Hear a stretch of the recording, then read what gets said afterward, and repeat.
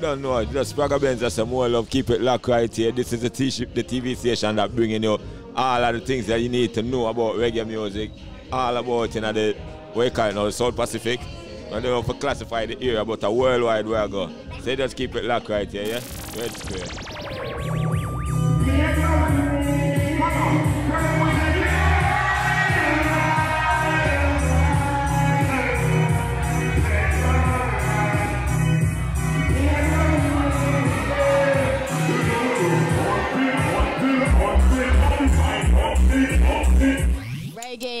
Dancehall legend Spragga Benz in Honolulu, Hawaii. Aloha, Spragga. Respect, much respect. How are you doing?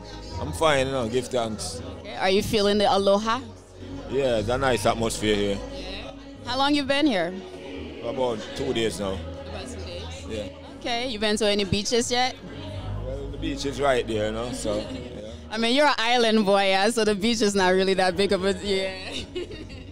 Well, we're really excited to have you here and have you perform. Have you had any local food since you've been here? No, just some fruits and things, but no, no food. You vegetarian? Not really. I eat fish. Okay, Okay. cool, cool, cool. So talk to us about some music. So you just dropped some new music not too long ago during the pandemic, and I listened, and I was so inspired because at the time when you dropped that music, the song "Vaccinated," right? It was at a time where speaking your truth is almost criminal, you know. And to hear people that you know I grew up on, I, you know, I was young in New Jersey, you know, in the clubs, you know, dancing the Spragga Benz. So to hear you come out and speak out in this kind of time, I was wondering what what made you do that? What was the courage? What pushed you to say I have to put this message out here at this time? It's just the way that I felt and the, the, the music, the inspiration of the, the rhythm dictated that uh, you know, a melody like that would work and the, the, the times was that this was currently what's happening and it was my concern so I just expressed myself.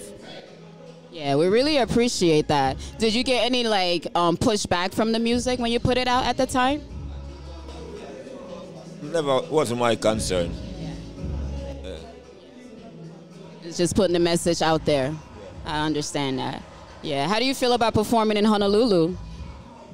The first time, you know, it's a, it's a good vibe. I, I give thanks for being here and, you know, there to do my best regardless.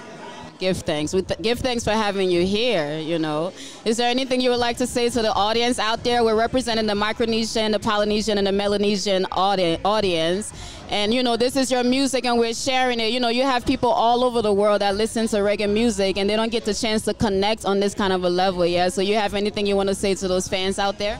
Yeah, I want to tell them I appreciate the love and the support that they have given to reggae music. We hope that it continues, you know. All who not now aware of my music, I might not be familiar with it yet, them can check it out.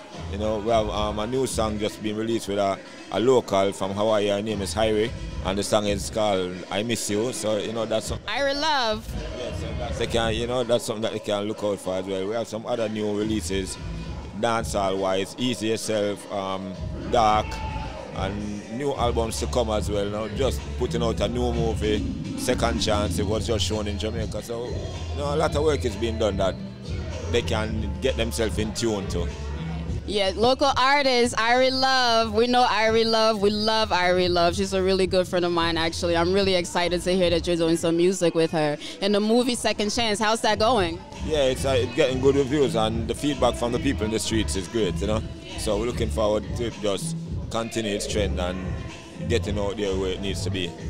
So I was watching an interview with you, and they asked you if you were going to go more into music, I mean, more into movies. What kind of movies would you want to get into? And you said you want to get into more like comedy, right? Do you feel like you're a comedian? Well, no, not like more like comedy. I was just saying that I, I wouldn't want to box myself in. So even comedy or, or whatever it is, we're going to do different things. It's not going to just be gangster movies every day. Yeah, I mean, as we get older, yeah, you, you know, you go through phases. Yeah, you feel like you're in a different phase in your life from when you did those kinds of stuff. Not even about being older. It's just me being a person like that. I never like to be like pigeonholed. Some would have culture songs, would have girl songs, would have gangster songs, would have whatever. I don't want to be one type of artist. You know, I'm an artist across the board. Artists is all around the board. I respect that. We give thanks. Well, we're really excited. You haven't go- gone on yet. We're excited. I've been here since like nine o'clock waiting for you. I'm legit a straight up fan, right? And I have to tell you a quick story. So I have two little girls, eight year old and a 12 year old. And I was like, I'm going to be interviewing Spragga Benz. And they was like, who is that?